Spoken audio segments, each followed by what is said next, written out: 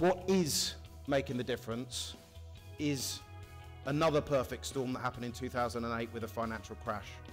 I firmly believe were it not for that incident to have happened, we would not be here having a fintech event today. What the banks don't have now is time because the innovation is so rife.